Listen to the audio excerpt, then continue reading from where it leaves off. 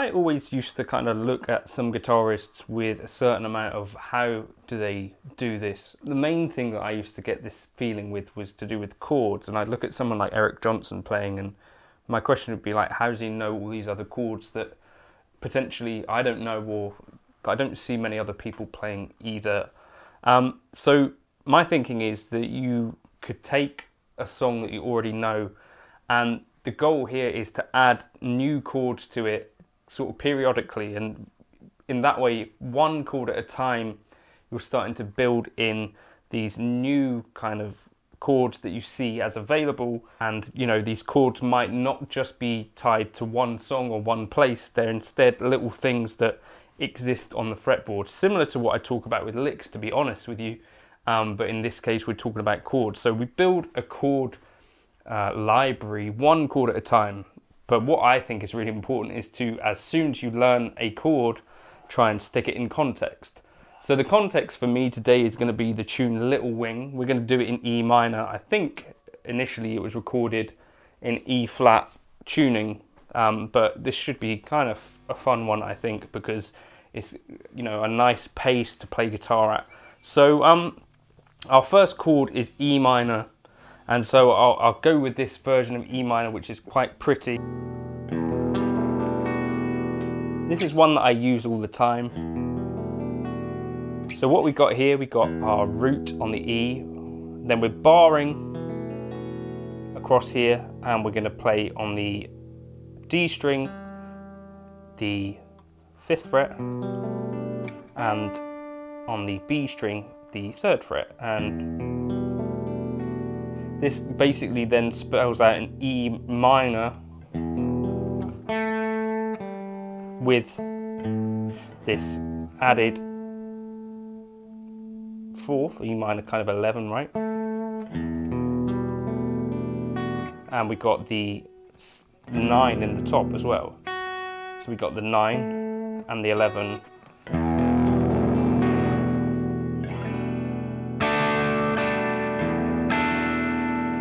So you can use that pretty much in most places that you see an E minor, unless the E minor is the third in this case. So if you were playing in the key of C major, you couldn't use this without coming across the same problem that we actually get in Little Wing later on, but more about that later. So it's, it would be diatonic as the second uh, or as the sixth. You could use this in place of chord two or chord six. And then our next chord will be a G. So this is a really nice voicing for G that I like to use. So we've got the third fret where our root, then we're going to skip the A string so you can kind of use the fleshy part of your thumb. And then we're going to play the seventh here on the fourth fret of the D string. Then we've got an open G string. Then we've got the fifth here on the third fret on the B string. And we got our ninth here on the fifth fret on the E string. So you go from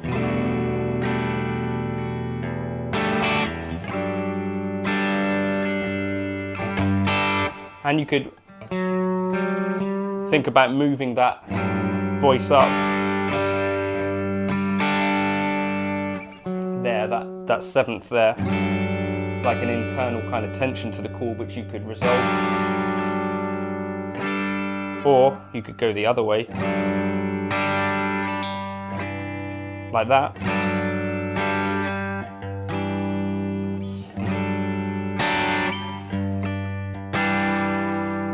And then this is a, a, an easier one.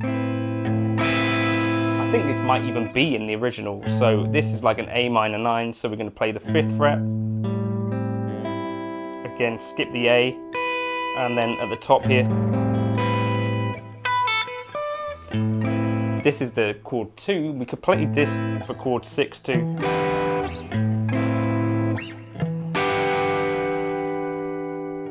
And that would work really nicely.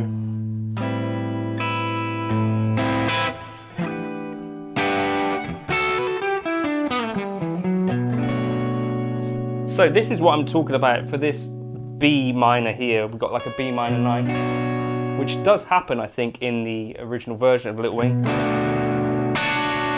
You wouldn't normally have, obviously, a C sharp in the key of G major or E minor. But it kind of works in this context, but ordinarily, for your chord 3, you would want to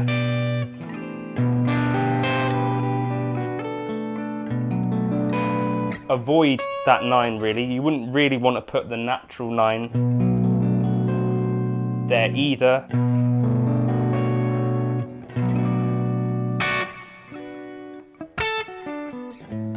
So a Little Wing sort of breaks the rules a little bit there. So our first chord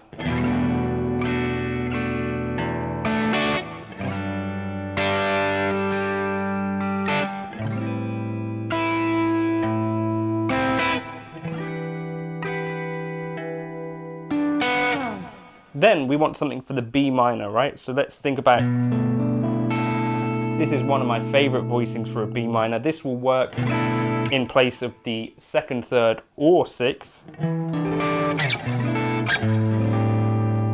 a really nice open kind of voicing. So we got there the B, the A on the seventh fret, the D on the seventh fret, the E on the fifth fret, and the A on the fifth fret as well.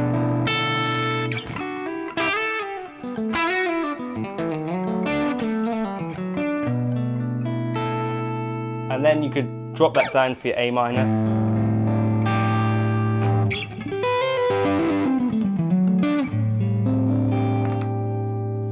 And then we want a, a C after that. So here's a really nice kind of open sounding C.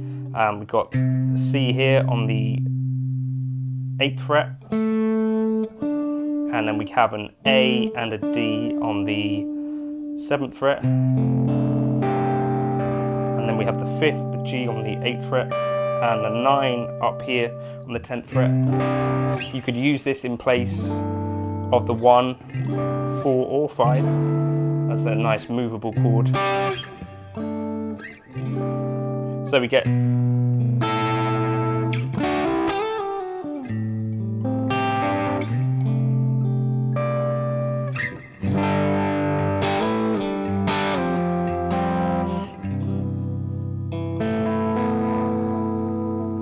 So yeah, get that. Then I quite like to return to that chord. And maybe, you know, keep that stuff the same. You don't necessarily want to change every single chord in the progression. And that's really kind of dark voicing for a C major. This, you could play this in place of the one or the four. Nice movable. So in this case, I'm playing a third fret G, third fret C, uh, second fret on the D string, and second fret on the G string, and then open B and E. You could use that for those chords actually. Down to the F, to C.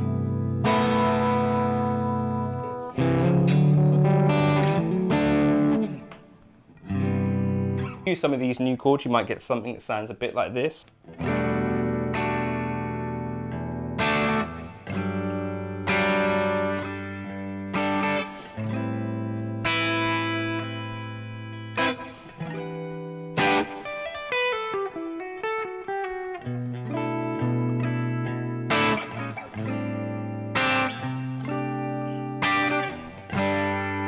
Um, then maybe up here for this part.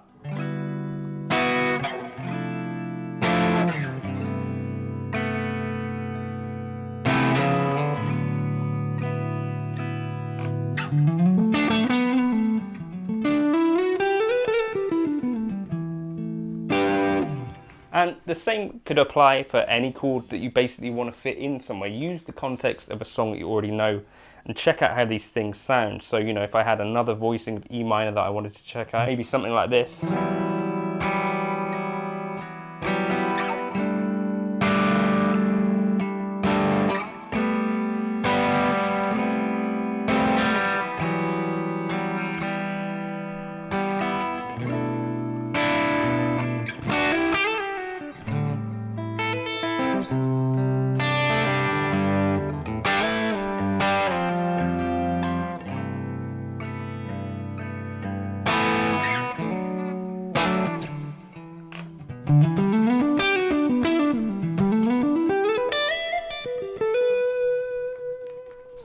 That's how you can add chords, I think.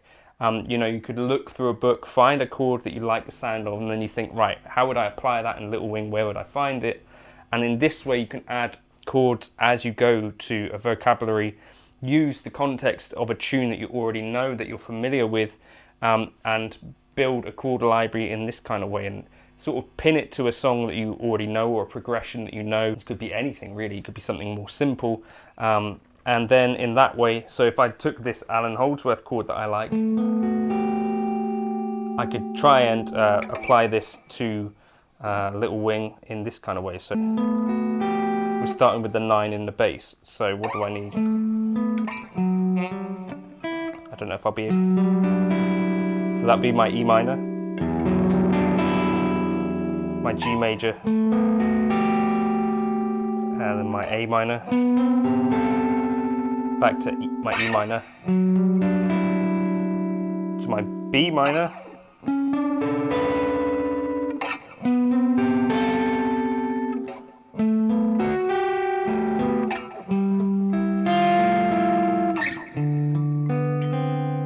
uh, yeah, that kind of works.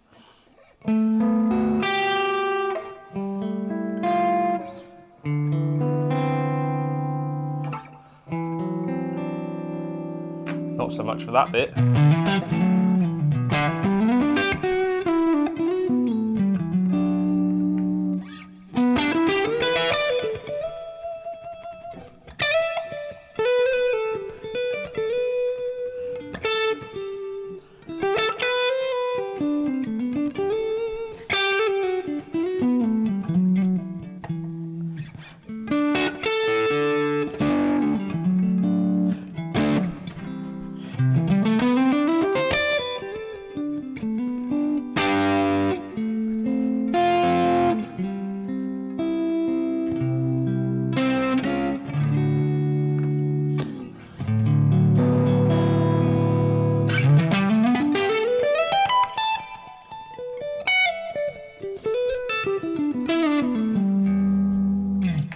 Hopefully that was vaguely interesting and gives you some idea about how it is you can add chords to some of this stuff. Patreon will be the place where I'll put together the backing track and kind of the tab um, for this in case you wanted it, um, as well as that's where I put my backing tracks in general and kind of all the accompanying material to my lessons.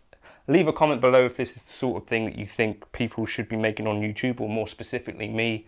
Um, feel free to like and subscribe. Hope that that wasn't an entire waste of your time. Thank you for stopping by. Cheers.